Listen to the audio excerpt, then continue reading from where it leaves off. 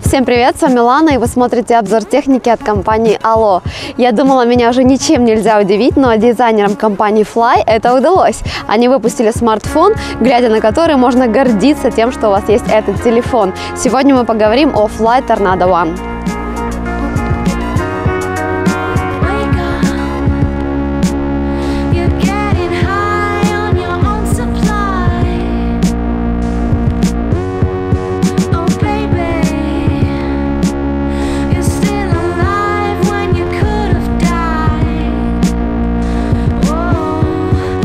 Устройства компании Fly относятся к разряду недорогих, поэтому их обычно отличают по простым формам и относительно простым техническим характеристикам. Но тут инженеры компании Fly собрали всю волю в кулак и выпустили вот такого вот няшку.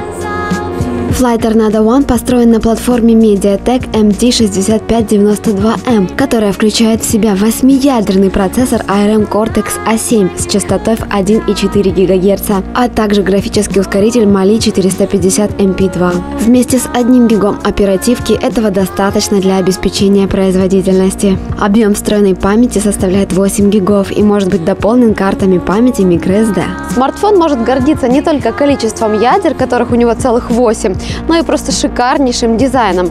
Кстати, глядя на этот смартфон, не сразу можно понять, где у него передняя панель, а где задняя. Дизайну устройства производитель уделил немало внимания, и результат стоил того. Смартфон получился очень изящным и стильным. В то же время формы у него просты. Прямоугольный брусок со скошенными краями. Задняя панель покрыта стеклом Gorilla Glass, в то время как передняя Dragon Trail. Такой вот известный сэндвич с двумя стеклами выпускала компания Apple в моделях iPhone 4 и iPhone 4s.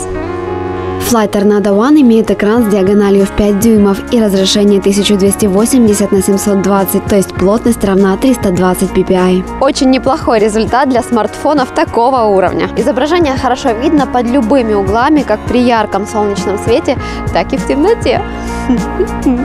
Также я осталась довольна, как смартфон реагирует на прикосновение. Не нужно по несколько раз тыкать в одну и ту же точку, реакция моментальна. Это очень актуально, когда на улице холодно и ваши пальчики замерзли. И, кстати, он поддерживает до 5 одновременных касаний.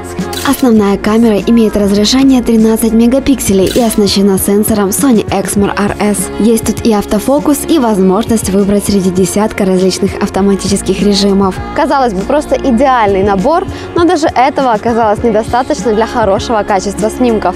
Да, мы девушки такие требовательные. Нет, я, конечно, не хочу сказать, что фотографии получаются плохими, но все равно в этом вопросе Fly немного уступает другим более известным компаниям. Впрочем, для своего уровня Tornado One выдает достойный результат. В том числе и в деле создания видео. У пользователя есть возможность снимать ролики в разрешении Full HD со скоростью 30 кадров в секунду. Фронтальная камера на 2 мегапикселя обеспечивает достойное качество для видеосвязи, а также может снимать Full HD видео. То есть со своей основной задачей она справляется на ура.